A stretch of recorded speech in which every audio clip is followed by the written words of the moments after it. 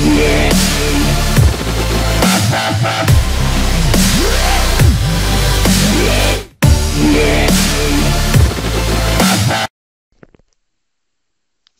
everyone and welcome again in a new video tutorial. Today guys I'm going to show you how you can backup your data or how can you save your data in an external support. So guys the best advice is to get an external hard disk with 5 with 500 gigabit um, or, or more if you would like especially for the people that got a lot of data on their computer.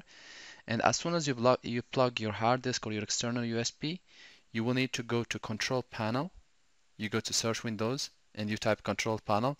These guys work for people with Windows Vista Windows 7 Windows 8 and Windows 10 so you type just control panel and you open the control panel and here guys you you change the view from large icons or small icons to category and you click on system.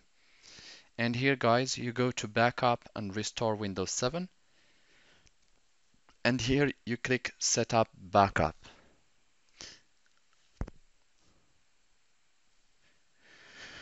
This operation of starting Windows backup can take just two to three minutes and then it should show you your hard disk this is my hard disk in which I want to save my data. You can also guys save on a network if you have a server your own server somewhere but it will take much longer.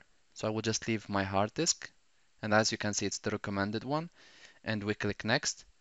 Uh, by the way guys if you are if you are planning to put an USB key this wouldn't work with a USB key which is below uh, 16 giga. You, you need to have 16 giga and more and here you can either let Windows choose for you or you can do like I, like I do let me choose and you click next here guys if you have important data in a data file. So you select all of these. Uh, backup data for newly created users, my, my library, my channel library, yes. And here also you can include um, some, if you have some partition which contain backup like I have here. So you can also select it. And here, guys, here guys, I will suggest to you to leave include a system image of drive EFI system partition.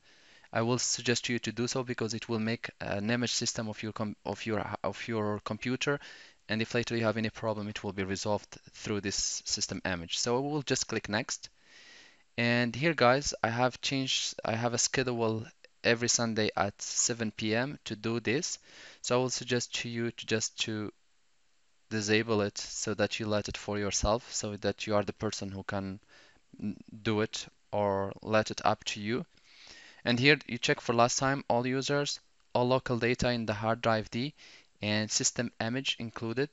And we will just click save settings and run backup. And that will start running your backup and it should start making a copy of your system for you.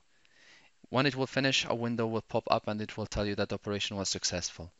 Thanks guys for watching. If you still need help or assistance, you can always contact us via Facebook, Twitter, or, or Gmail, or you can just leave a comment below and we'll reply to you.